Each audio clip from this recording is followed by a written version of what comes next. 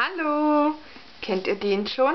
Das ist Totenstarre von Mark Nukan, ein 2005 erschienener äh, Psychothriller, steht hinten drauf. Ich würde sagen, Thriller trifft's eher. Für die Thriller-Fans unter euch endlich mal wieder ein Beitrag. Ich äh, habe dieses Buch aus meinem Regal gekramt. Das ist schon, wie gesagt, länger her, als ich es gelesen habe, aber ich habe es in einer Nacht durchgeschmökert.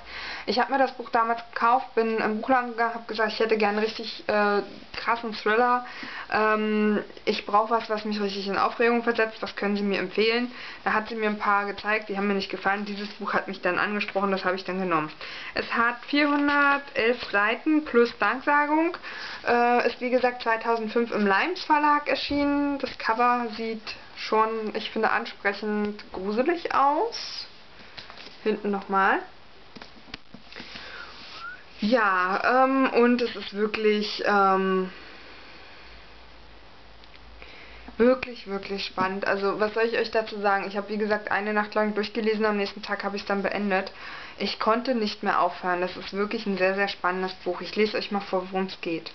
Der Bildhauer Ashley Stessler ist mit seiner Skulpturenserie Familienplanning zu Weltruhm gelangt. Vor allem die überaus realistischen Darstellungen reiner Todesangst fesseln und entsetzen die Kritiker gleichermaßen.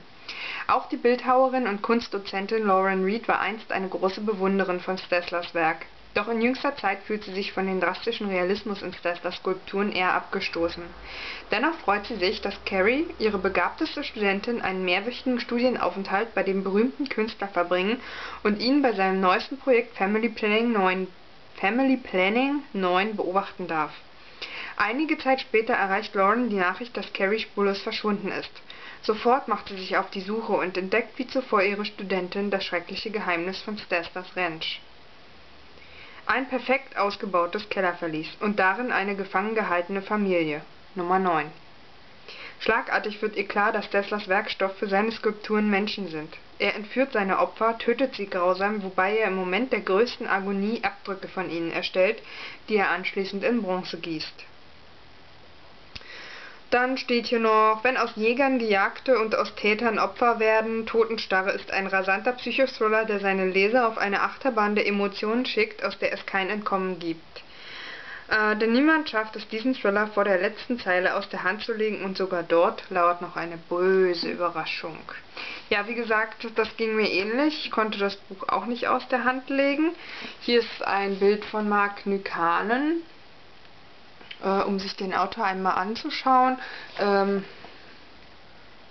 ja, sieht schon so aus, als hätte er sie nicht alle Tassen im Schrank. Also ich denke mal, Leute wie Stephen King, den sieht man auch an, dass er nicht so ganz in Ordnung ist, glaube ich. Die halt so ein bisschen kranke Fantasie haben. Ähm, ich, ich würde den Leuten ähm, lieber aus dem Weg gehen, glaube ich. Ähm, ja. Wie gesagt, es geht um, um diesen Künstler Ashley, Ashley Stessler und um seine Skulpturen und diese Studentin, wie heißt sie? Hab's doch gerade vorgelesen. Carrie? Carrie, ja genau. Carrie fährt dahin und findet das alles schon sehr, sehr komisch, als sie auf die Ranch kommt und wundert sich, es ist alles ganz ruhig, nirgendwo ist jemand zu sehen. Äh, wohnt der Mann da ganz alleine? Was ist da überhaupt? Hä? Und wo ist seine Werkstatt? Und man kann nichts sehen von außen. Und sie gerät dann halt in, in die, ähm, ja, in die Sache so rein. Ähm, sie lernt ihn kennen, sie findet ihn komisch, sie hat auch komisches Gefühl dabei, ein komisches Gefühl dabei, ähm, ihm zu begegnen und ähm, ich stelle das mal hier so hin, könnt ihr das sehen. Ähm, ja, und es ist halt wirklich so, dass das Grauen einen so ein bisschen äh, packt und einholt. Ich, äh, wie gesagt, fand das sehr, sehr geheimnisvoll anfangs, dann fand ich sehr, sehr spannend. Ich fand das sehr, sehr eklig und pervers, bis dahin neu und ich glaube, ich habe auch kein Buch mehr gelesen, was diesem nahe kommt. Denn diese Art zu töten, die der Täter hier hat, ist doch äh, etwas ganz Eigenes. Ich glaube, es gab es in keinem anderen Roman. Wenn, dann habe ich ihn noch nicht gelesen. Und ich mag es immer, wenn neue Ideen äh, in Romanen, wie gesagt, vorkommen. Falls ihr das Buch noch nicht kennt, Thriller-Fans, dann äh, müsst ihr euch das noch holen. Ich denke, ihr bekommt es äh, als Taschenbuch oder günstig gebraucht irgendwo, weil es, wie gesagt, 2005 erschienen ist und ähm, das ist jetzt doch schon ein paar Jahre her. Es gibt einen zweiten Roman, Der Fallensteller, mit einer Spinne vorne drauf. Das wollte ich mir immer mal holen, aber ich habe es nie getan. Ähm, mal schauen, dabei war ich so begeistert von dem Erstlingswerk, vielleicht hatte ich einfach Angst, dass das zweite nicht so gut ist und habe es mir dann doch nicht geholt.